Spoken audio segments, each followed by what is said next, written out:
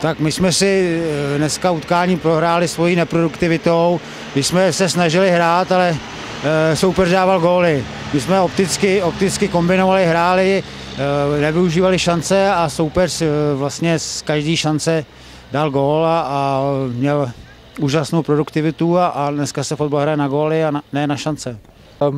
Po minulém týdnu, kdy jsme uh, vlastně uh, po špatném výkonu, když jsme hráli teda v deseti, prohráli 7-1 s motorletem, tak jsme to chtěli, chtěli napravit. Myslím, že jsme se eh, každý z nás na, ten, na to utkání koncentrovali a snažili jsme se to utkání brzo rozhodnout, což se nám povedlo a do půle jsme vedli teda 4-0. Eh, byli jsme velmi produktivní, kluci vepředu hráli velmi dobře. Chlupice tam měli nějaký náznaky, ale k našemu štěstí vlastně většinou netrefili bránu.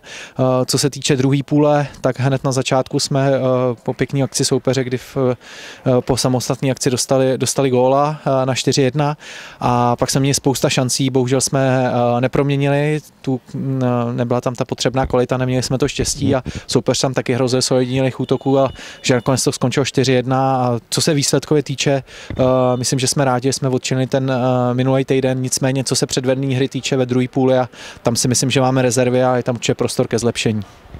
Tak prohráli jsme 4-1, tak co k tomu říct, no soupeř nás přehrál a využil víc šancí. Tak zápas výsledkově jsme zvládli 4-1, máme samozřejmě radost. Maličko jsme očinili tu ostudu, která byla minulý týden s motoletem, to se nám trochu nepovedlo, nebo trochu víc.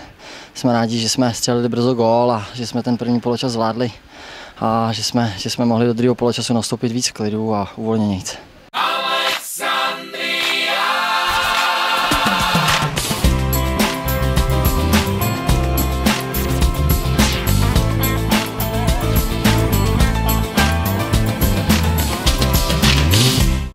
Tak na hře musím říct, že kluci jako o tréninku makáme, snažíme se to pozvednout, ale bohužel nepřenesem to do zápasu. No.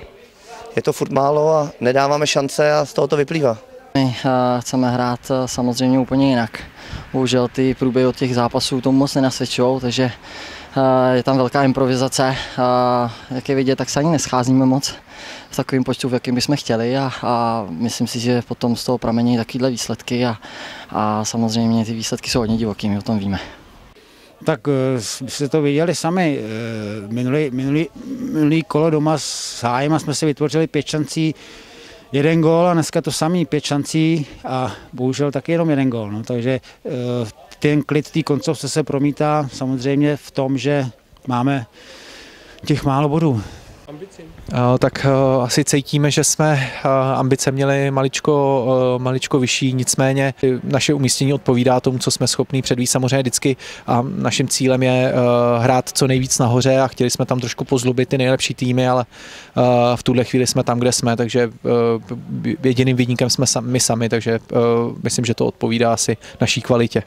Tak musíme jako ještě uhrát nějaký body, jestli to vyjde a a po, potrénovat pořádně přes zimu, posílit a věřím, že to zachráníme. Přebor se bude hrát dál v Olpicích. Tak samozřejmě, samozřejmě eh, se budeme snažit posílit, ale je to všechno otázka, otázka eh, kdo k nám bude chtít jít a, a kdo, kdo bude ochoten hrát za Cholupice. No. Teďka víme, že motolet zaváhal, Třeboratice taky nebudou 100%, takže doufáme, že se tam dotáhneme a že budeme více konkurenceschopnější té špičce, tam, kde chceme být. Eh, budeme bojovat co to půjde. Uvidíme, uvidíme, ještě máme tři zápasy a doufám, že ještě nějaký bude uděláme do konce podzimu.